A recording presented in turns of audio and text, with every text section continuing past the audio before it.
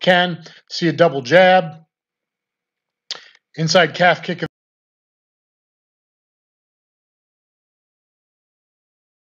Hey guys, Dan the Wolfman here at Catch Jitsu, and today's video is going to be on my MMA Neo striking system uh, the cluster fighting system. And what this is, is going to be learning the reset cluster, the reset cluster that you do in between every other cluster to keep your distance, get your breathing, frustrate your opponent, and control the fight. I hope you enjoy learning these four combinations in order what a cluster is. Please thumbs up, share, subscribe, and as always, smash the like button and get down in the comments and let me know what you think. Thank you three, four, then three, then four. All right, guys, Dan the Wolfman catches you Advanced MMA Neo Striking System or Cluster Fighting System. A cluster is a combination of combinations. Combination is set up the next combination. We're already did cluster one. This is not cluster two. What this is, is your reset cluster, your distance reset cluster, cluster that you do in between every other cluster so you have time to keep a distance because you don't want to get taken down or you want to do takedowns. You want to be on top in, in MMA. Uh, you can control the distance, you control the fight, and it gives you time to breathe, be energy efficient, and reset your mind in case you have trouble remembering what's the next cluster, and then you remember it, and then you can go again. So this is your reset. After each cluster, you do this, or after every other two, it's up to you, but really, you basically want to train and get through a five-minute round where you're dominating 80 to 90% of the round. You're going first.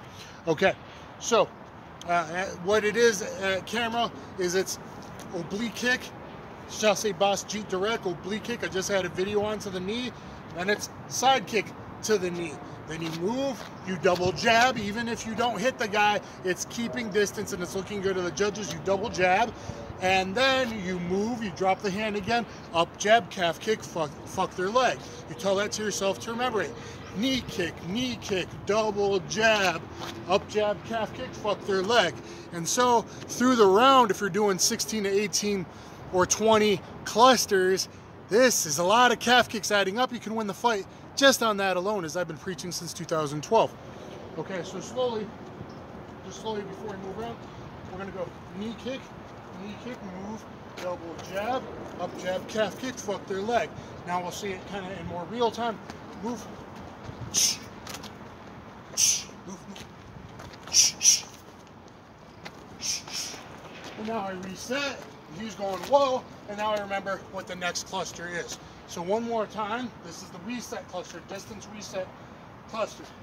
Knee kick, knee kick, double jab, up jab, calf kick, fuck their leg. You see that one more time, guys? Knee kick, knee kick, double jab, up jab, calf kick, fuck their leg. You get that free calf kick in, and he can't even close on you. You're controlling the round, you're controlling each minute, and then you're controlling the fight, and you win the fight. And more calf kick and knee damage to your opponent.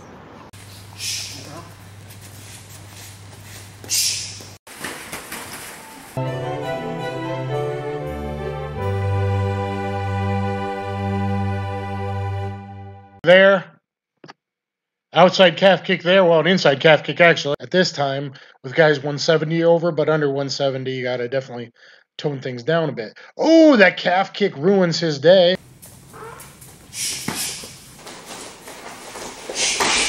Head calf kick jab, attack by drawn, walk away, get my breath, draw him in. Hey, I go again. I.